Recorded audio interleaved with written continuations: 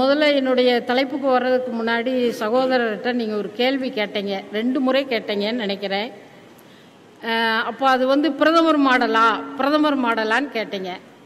அவங்க எம்பி என்ன சொல்கிறாரு அது என்ன மாடல்னு நீங்கள் வேணால் எடுத்துக்கங்க அப்படின்ட்டார். அப்படின்னா பிரதமர் மாடல் நகின்னு அர்த்தம். எனக்கு தெரிஞ்ச ஒரே ஹிந்தி வார்த்தை நகி தான். பிரதமர் மாடல் நகி அப்போ பிரதமர் மாடல் எது? பெட்ரோல் விலை உயர்வு தான் பிரதமர் மாடல் என்பதை அன்பில் சகோதரர் ஒத்துக்கொள்ள வேண்டும் என்று நான் கேட்டுக்கொள்கிறேன். என்னுடைய வளர்ச்சி உங்களுடைய வளர்ச்சி என்று வைத்திருந்தால் அது வேறு. அனைவரின் வளர்ச்சி என்று சொல்வதே கம்யூனிச மாடல். அந்த கருத்தை அந்த சித்தாந்தத்தை உருவாக்கி கொடுத்ததுதான் உலக அளவில் சோசலிச மாடலாக இருந்து கொண்டிருக்கிறது. அன்பு சகோதரர் அவர்கள் இருக்கக்கூடிய ஒன்றிய அரசு ரெண்டாயிரத்தி பத்தொம்போதில் ரெண்டாயிரத்தி பதினாறு பதினேழு இந்திய நாடு முழுவதும் இருக்கக்கூடிய மாநிலங்களில் கல்வி வளர்ச்சி என்ன? வறுமை என்ன?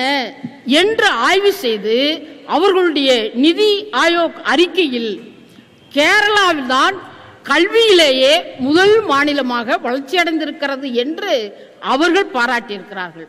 அதே போன்று வறுமை குறைந்த மாநிலம் எது?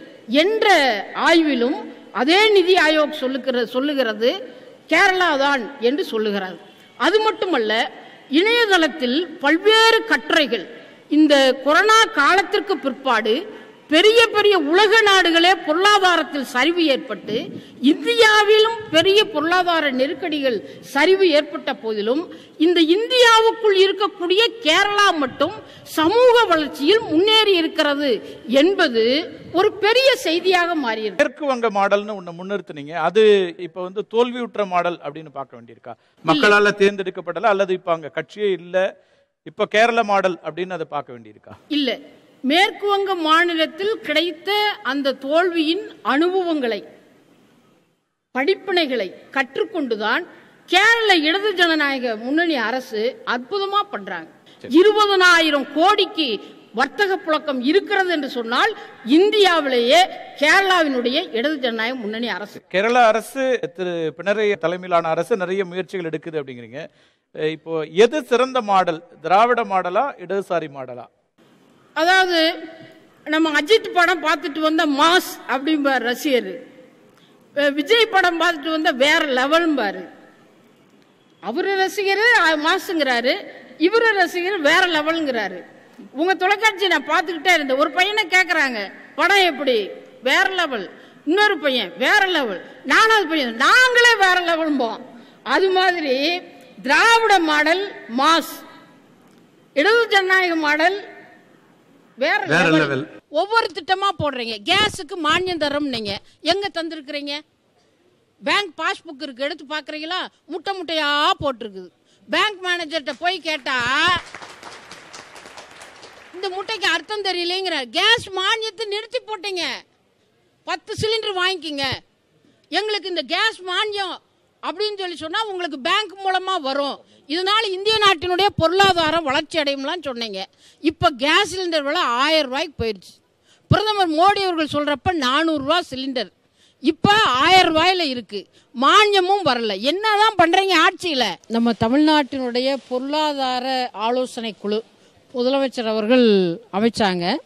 அதில் வந்து ஒரு உறுப்பினர். அவர் என்ன சொன்னார்? ஜான் ட்ரீஸ் பெல்ஜியம் நாட்டை சார்ந்தவர்.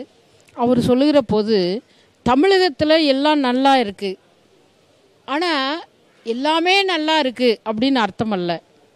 மிகப்பெரிய அளவுக்கு ஊழல்கள் நடந்த மாநிலமாகவும் தமிழ்நாடு இருக்குது ஏற்றத்தாழ்வுகள் குறிப்பிட்ட பிரிவினர் மீதான அடக்குமுறை இதெல்லாமே இங்கே நீடித்து வருது. சமூகத்துக்குள் நீடித்து வருகிறது. அதோடு ஒப்பிட்டால் கேரளா அவ்வாறு இல்லை. அப்போது நீங்கள் வந்து அந்த அரசியலும் பார்க்க வேண்டியது இருக்குது அப்படின்னு நம்ம பார்க்குறோம். திராவிட மாடலுக்கும் இடது ஜனநாயக மாடலுக்கும் முரண்பாடுன்னு நான் சொல்ல வரல.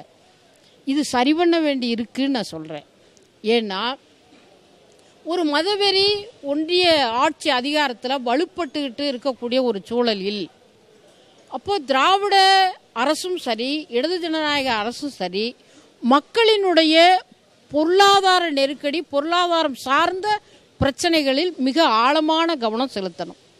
நீங்கள் ஒன்றிய அரசுக்கிட்ட என்ன கேட்டாலும் அவங்க பைசா தரவே மாட்டாங்க.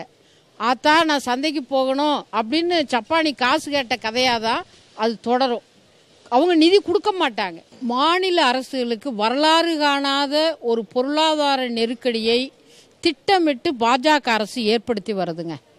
ஆகவே மாநிலத்தில் இருக்கக்கூடிய பொதுத்துறைகளையும் விற்பதற்கு முன்படுறாங்க திருவனந்தபுரம் ஏர்போர்ட்டை விற்க முன்வந்த பொழுது அந்த அரசு எதிர்த்து போராடினது மட்டுமல்ல நீ கூட நான் வாங்கிக்கிறேன்ட்டாங்க. பாஜக ஒன்றிய அதிகாரத்தில் இருக்கிற வரை இப்போ நமக்கு என்ன சிரமம்னா தமிழ்நாட்டில் டாஸ்மாக் வருமானத்தை நம்ப வேண்டியது இருக்குது கேரளாவில் பரிசு சீட்டை நம்ப வேண்டியிருக்கு. வேறு என்ன வருவாய் இருக்குது அப்போ மாநில அரசுகளை கொண்டு போய் மக்களோடு மோதப்படக்கூடிய மக்களினுடைய வேறு வருமானத்தை எடுக்கக்கூடிய நிலைக்கு மாநில அரசை இந்த ஒன்றிய அரசு தள்ளுகிறது.